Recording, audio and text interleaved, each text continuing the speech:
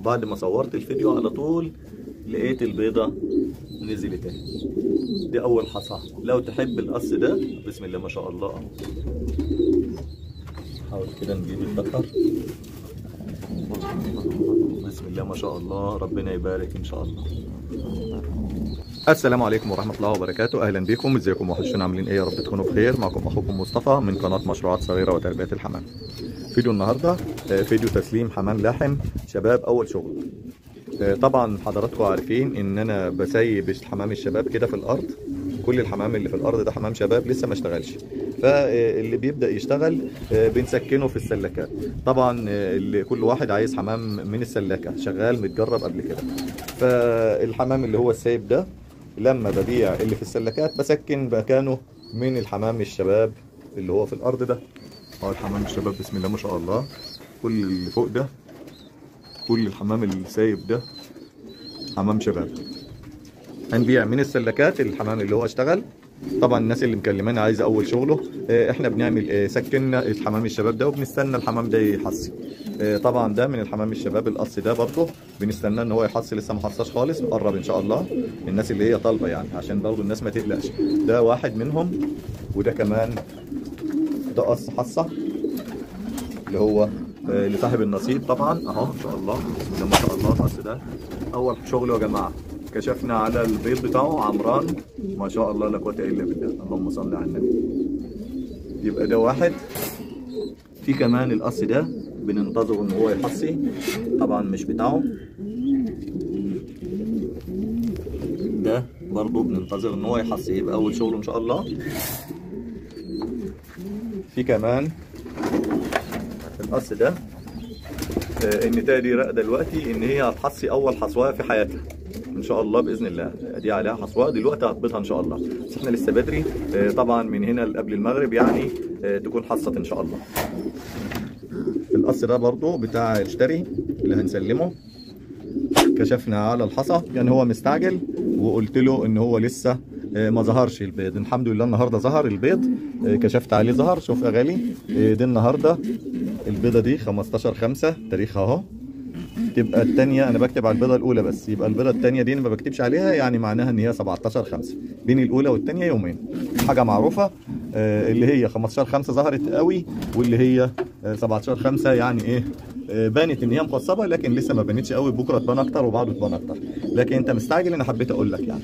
ده القص الثاني وده يا غالي القص اللي هو فوق ده خالص ده. أهو. برضه ده أول قص محص في الثلاثه كلهم أول شغلهم أول مرة يحصهم في حياتهم أهو.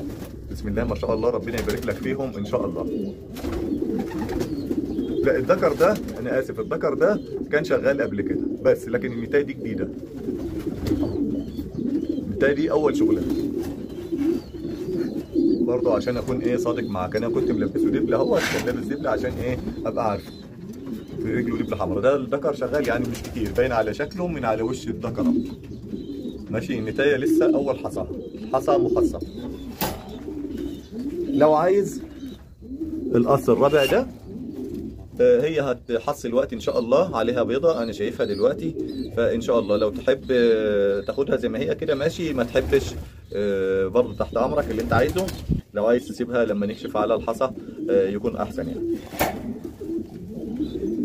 طيب المشتري اللي معانا كان طالب مننا ذكر فرداني في عجز في النوتي جامد.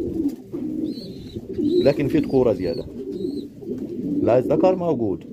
أنا هعطيه الذكر ده اللي هو معلمه من راسه الذكر ده أنا معلمه في راسه آه، بالعلامة الحمراء دي. والله هو شكله اتجوز النتايه اللي جنبه دي.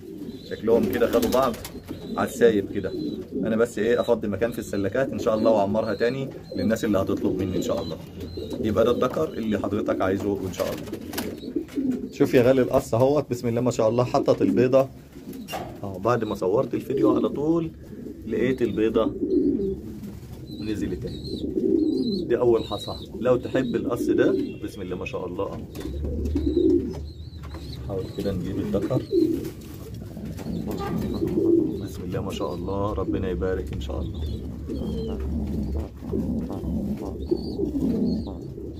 طيب أنت بتعمل إيه للحمام؟ وبتأكل الحمام إيه؟ أنا بأكل الحمام الكلفة المتوازنة. اللي هسيب لك مكوناتها دلوقتي من فيديو عملته قبل كده عن مكونات الكلفة اللي أنا ماشي عليها. ممكن هتقول حد تاني بيأكل أحسن أو ملناش دعوة بحد ده اللي أنا ماشي عليها وماشية معايا كويس. طيب إيه بقى المكونات بتاعتنا؟ شوف بقى يا سيدي.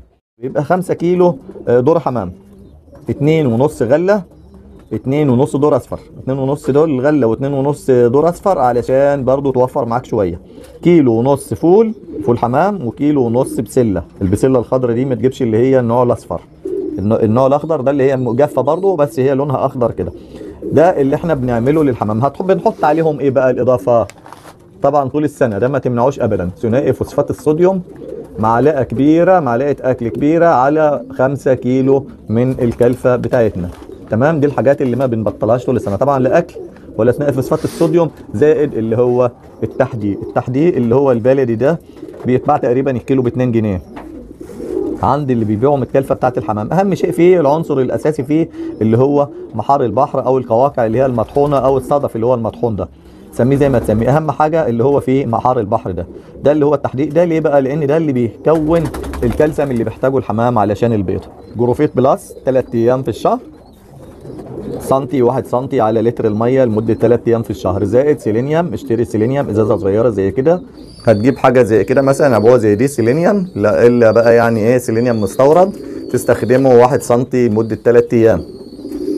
آه، زائد إن أنت برضو هتستخدم يعني مثلا دي 3 أيام وبعدها جروفيت بلس 3 أيام. لكن مش ورا بعض مش لازم ورا بعض يعني تستنى أسبوعين وتأتي إيه آه، تلات أيام جروفيت بلس. يبقى كده آه، تلات أيام من ده وتلات أيام من التاني. حاول تفرق بينهم مثلا أسبوعين. اشتري عبوه صغيرة تشتري عبوه كبيرة اللي يكفيك يعني على حسب أنت مربى قد إيه. كل الحاجات دي بتتباع بالسنتي يا جماعة. ده اللي أنا بعمله.